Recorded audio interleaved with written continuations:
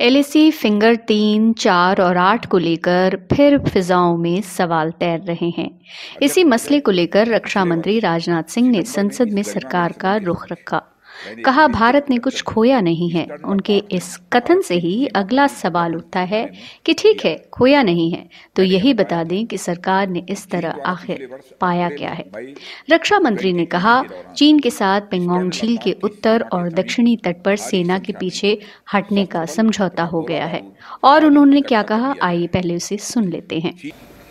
हमारा यह लक्ष्य है कि एलएसी पर डिस इंगेजमेंट तथा यथास्थिति यानी स्टेटस को हो जाए ताकि पीस एंड ट्रैंक्विलिटी पुनः स्थापित हो सके। फॉरवर्ड डिप्लॉयमेंट को फ़ेज़ कोऑर्डिनेटेड और वेरीफाइड मैनर में हटाएँगे। चीन अपनी सेना की टुकड़ियों को नॉर्थ बैंक में फिंगर एट के पूरब की दिशा की तरफ़ रखेगा। मैं फिर से दोहराना चाहता हूँ अध्यक्ष महोदय। चीन अपनी सेना की टुकड़ियों को नॉर्थ बैंक में फिंगर एट के पूरब की दिशा में रख की तरफ़ रखेगा।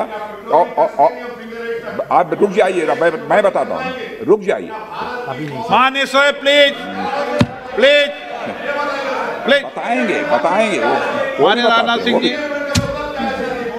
भारत भी अपनी सेना की टुकड़ियों को फिंगर थ्री के पास अपने permanent base Dhan Singh Rana post पर रखेगा।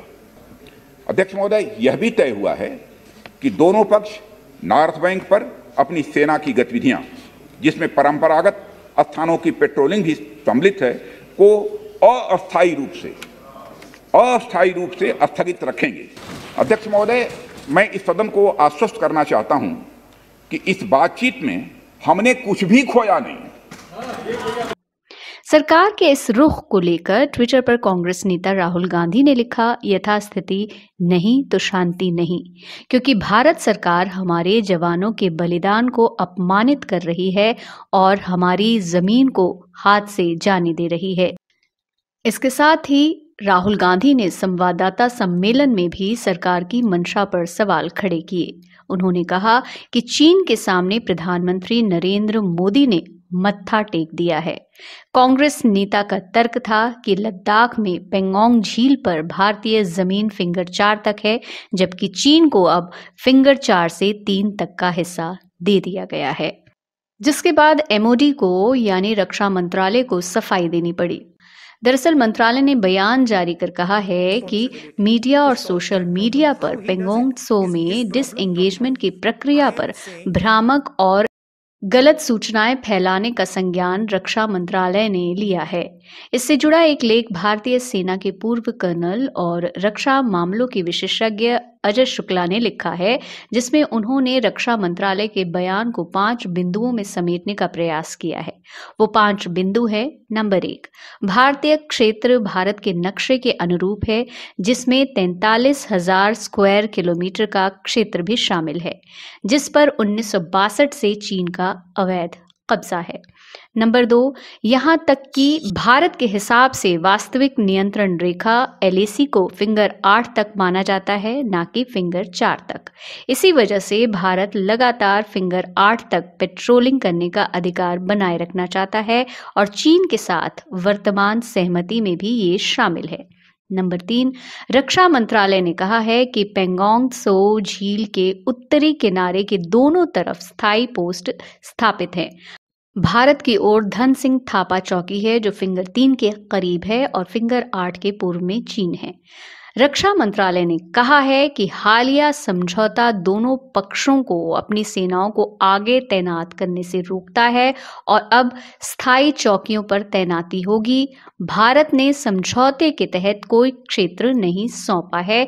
इसके विपरीत एलएसी का अनुपालन और उसका सम्मान बरकरार रखा गया है और यथास्थिति में किसी भी एक तरफा परिवर्तन को रोका गया है।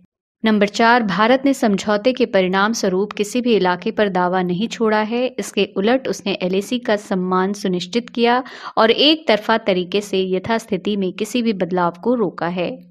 नंबर पाँच, रक्षा मंत्री के बयान से ये भी साफ़ हो गया है कि उन्होंने और दूसरे विवादों के बारे में भी बताया है, जिसमें हॉट स्प्रिंग्स, गोगरा और देपसांग भी शामिल हैं। इन विवादों को पेंगोंग सो में डिस एंगेजमेंट की प्रक्रिया पूरी होने के 48 घंटों के बाद उठाया जाएगा। हालाँकि अहम बात यह है कि चीन ने इन मुद्दों पर किसी तरह के नेगोसिएशन का सिग्नल नहीं दिया है। शुक्ला मानते हैं कि ये बयान इसलिए अहम है क्योंकि सरकार ने पहली बार खुलेआम आधिकारिक तौर पर इस गंभीर मामले पर जवाब देने की कोशिश की है। रक्षा मंत्रालय के बयान में ये नहीं बताया गया है कि भारतीय सेना की स्थिति जिस कैलाश रेंज पर सशक्त थी, हम चीन से बेहतर थे, वहाँ हमने डिस की बात क्यों मान ली? यहाँ ज़िक्र पेंगोंग सो झील के दक्षिणी किनारे का हो रहा है। विशेषज्ञ मानते हैं कि ये चीन से वार्ता के दौरान ट्रंप कार्ड के तौर पर इस्तेमाल किया जा सकता था। शुक्ला ने पेंगोंग से जुड़ी घोषणा पर ट्वीट भी किए हैं। उन्होंने लिखा है, पेंगोंग सेक्टर में सेनाओं के पीछे हटने को लेकर झूठ बोले जा रहे हैं। कुछ हथियारबंद गाड़ियों और टैंकों को पीछे लिया गया है। सैनिकों की पोजीशन में कोई बदलाव नहीं हुआ है। चीन को फिंगर चार तक पेट्रोलिंग करने का अधिकार दे दिया गया है। इसका मतलब है कि एलएसी फिंगर आठ से फिंगर चार पर शिफ्ट हो गई है। शुक्ला ने लिखा है आगे, शुरुआत से ही चीन की सेना का असल मकसद पूर्वी लद्दाख में देपसांग पर कब्जा करना रहा है। देपसांग के बारे में एक शब्द सुनने को नहीं मिला। मसलन देपसांग से पीछे हटने का चीनी सेना का कोई प्लान नहीं है, इसलिए पेंगोंग पर शोर मचाया जा रहा है।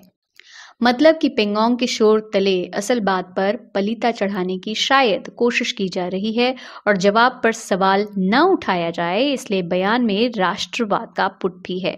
इसमें लिखा है, पूर्वी लद्दाख सेक्टर में हमारे राष्ट्रीय हित और क्षेत्र की प्रभावी सुरक्षा इसलिए हो पाई क्योंकि सरकार ने सैन्य बलों की क्षमता में पूर्ण विश्वास जताया है। जो लोग हमारे सैन्य कर्मियों के बलिदान के कारण हासिल हुई उपलब्धियों पर संदेह करते हैं, वे वास्तव में उनका अपमान कर रहे हैं। सत्ता विमर्श, ब्यूरो की रिपोर्ट।